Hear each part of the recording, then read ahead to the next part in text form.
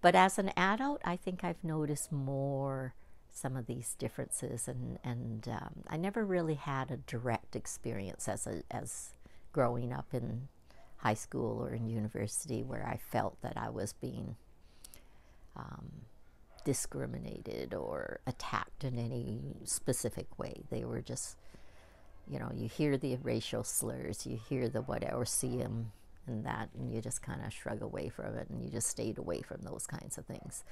Um, but as an adult, um, I think I was more noticeable at the subtle changes, the way people, um, whether it was advancements in um, in your work or opportunities that were given to you or not given to you.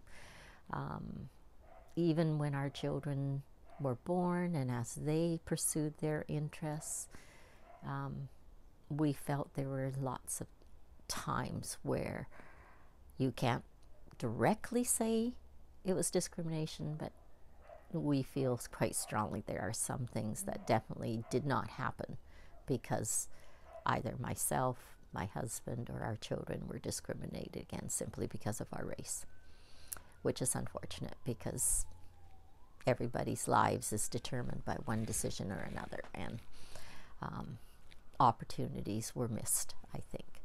Um, I wouldn't say that I got, I wasn't supported per se.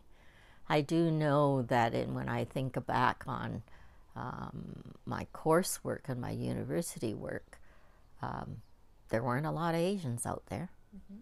In the in the pool of people that I took my um, admin um, courses with in my master's thing. Well, even in the teaching field, I don't think there was a lot of Asians in the the teaching market. Like I, it's not as diverse that is as it is now. Mm-hmm. Um, so uh, I didn't ever feel that. I do feel, though, that my opportunities, once I finished my degree and was now seeking to get my first admin position, um, I think there were some things where I was overlooked or not given the opportunity because I was really, I had two strikes against me. I was Asian and I was female. So those were, I think, factors that were there. They're not tangible, and you know, you might be hard pressed to actually prove any of that, but I certainly felt it, and um, you know, missed opportunities. And I know that um, in a relatively small district I was in, it became more apparent that it would be hard to pursue my role in admin if I stayed in that district.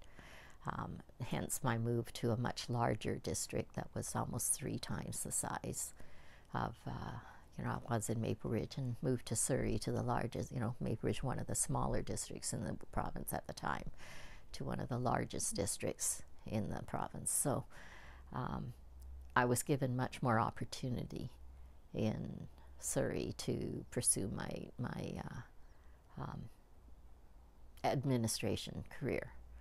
And but again, even within that, I don't think I was a hundred percent fitting in. It was almost, and this is where I think the whole issue about race and racial discrimination and separating people per se into categories comes into play where we're doing, I think, I think we've done a good job to this point as a culture and a society to acknowledge that there are differences in people.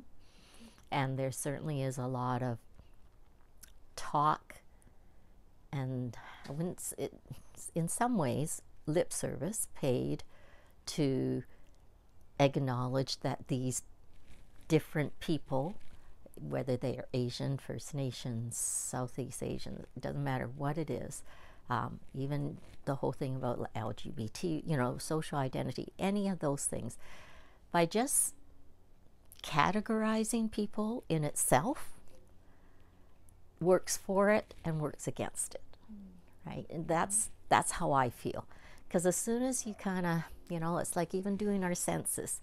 Why are you asking me these questions of whether I'm Chinese, Japanese? Like, you don't see Italian, Scandinavian, or any of those ones listed.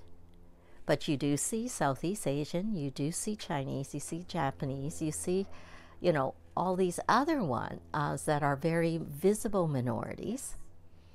But when you get into the so called, like what makes us a visible, and you go to China, the white people are the visible minority, right? You know, but it's all about perspective. But, you know, by just categorizing somebody, does that really help? Or does it really highlight the difference?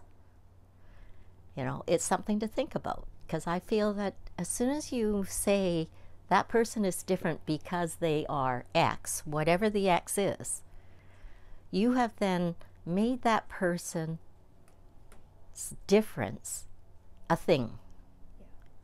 And when it becomes a thing, is it a good thing or is it a bad thing? Right? And so, I mean, we can't get away from it. I mean, you know, our brain operates in categorizing. You know, that is a natural way of looking at it. But um, do you really need to see the difference? Like, is, is that something that has to be done in order for us to move beyond seeing differences? Maybe it is. You know, I think it is. I think for sure we do need to acknowledge that there have been certain people in our society that have not been given um, their due or been treated well simply because of the way they looked or acted or behaved. As soon as people say they don't see color, you're saying you do see color. you, you see the paradox there? Uh-huh.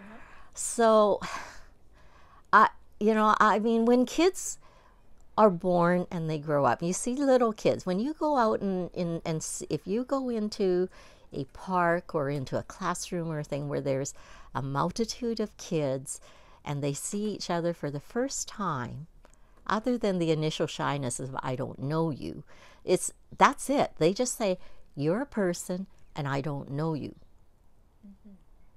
They don't see you're a black person and I don't know you. They don't see you're a Chinese person and I don't know you. They don't see any of that. They just say you're just someone. But as soon as mums introduce their two kids to each other, you know, Joey, this is so and so, um, you know, so and so. Why don't you two go off and play? That whole okay, mom and the two moms said we could play. Okay, let's go play, and that's it. It's it's acceptance. They just are okay with it, mm-hmm. and whether we'll ever, as a society, be just okay with the other person being not exactly like me, I don't know. But you know, the diff- by seeing the differences, we highlight those differences. And what we do with that highlight then is is really I think the key. So you know, where we are in the world right now with what's recently happened with the you know the incident with the horrible aboriginal kids that they children that they found and and we're learning about the atrocities that were um, done to these children in simply in the name of somebody made the decision that these people needed to be assimilated. You know, go let's go back to what's that Star Wars or Star Galactica, whatever, one of those sci-fi things where the whole idea was you gotta if you are gonna be accepted, you have to be assimilated. You have to be just like us. You have to do everything and be just like us. And that, you know, when I was growing up, I was trying myself to be assimilated because that was the way the world was. Because I saw people who were not Chinese being able to say or do or, or you know, I, I felt that they were always better than me, and so I needed to be like them. But um, nowadays, it may not be as much of the Chinese or Asian things. There's other cultures that are getting that same reaction. You see some of the people coming from the Middle East, and people look at them and there's a certain aversion to them. Um, the Southeast Asians, there's a certain aversion sometimes just because the way they look, because they haven't been assimilated. So, but is assimilation really what we want, right?